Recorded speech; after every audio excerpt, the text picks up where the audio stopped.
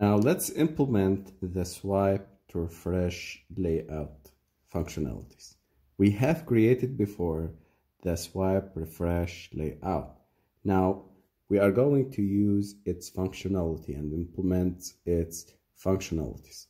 We will start by swipe refresh layout, making an instance of this layout object uh, class, and we go to the initiate views, and here we are going to use the swipe refresh layout object and find its ID find the view by ID I have named it before swipe. And swipe refresh layout set the refreshing to true. Okay and the swipe refresh refresh layout set color schema colors r dot uh, we need to implement or pass three colors. I will create them on the uh, color uh, values the orange the blue and the green. Okay I will implement them here in the color. Okay let's go to the values folder.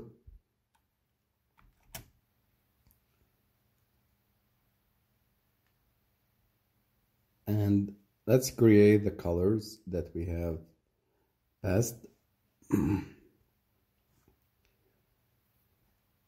this way we are uh, creating the colors.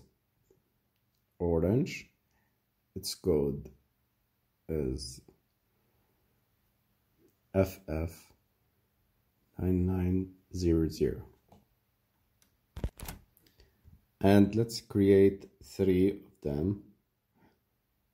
The green and the blue and these are the codes so uh, we are making this course uh, the biggest course on internet.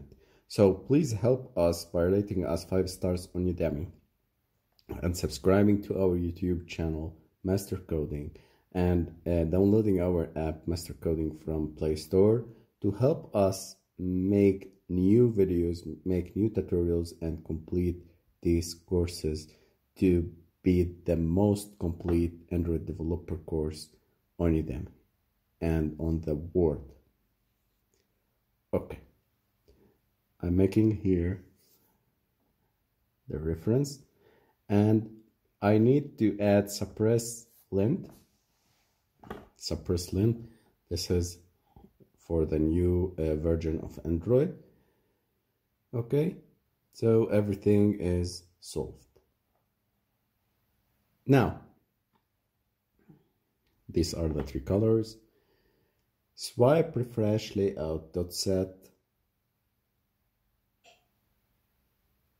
on refresh listener. This is the thing that we need. And make main activity implement the swipe refresh go OK. And this is the method that we are going to use. And in this function we are going to uh, make our algorithm in order to set the refresh functionalities. So when the user swipe down it will go and call the on fresh on refresh uh, method. And inside the on refresh method, I will start by making is for from start equal to true and page equal to one and go and call our me uh, method get home data. Okay, so on uh, home data, I will go to the update home page update homepage here. And we have seen before if we uh, we have create before we have created before this condition. If is from start boolean is true go and execute these codes. And on response and I uh, I will edit the on failure. I will create progress bar that set visibility to gone now, set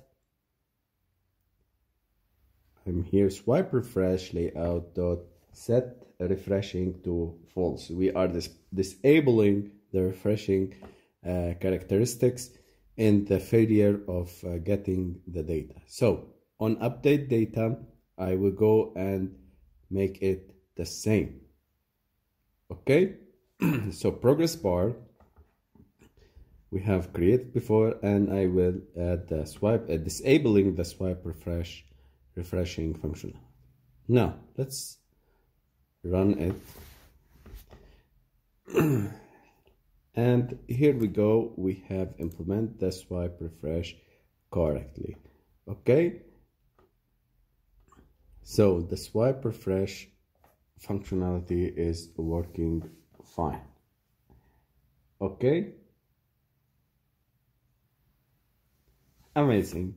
So guys, it's very important to understand why we are using these layouts and how to implement its functionality by implementing the interface for the call for the listeners and use the methods that, uh, uh, are are included to uh, to implement our uh, codes. So update and get the data, get new data are uh, from the refresh uh, every change in categories and posts and news images or anything you will get updated on refresh so try to delete uh, one category from wordpress and swipe to refresh and you will get the updates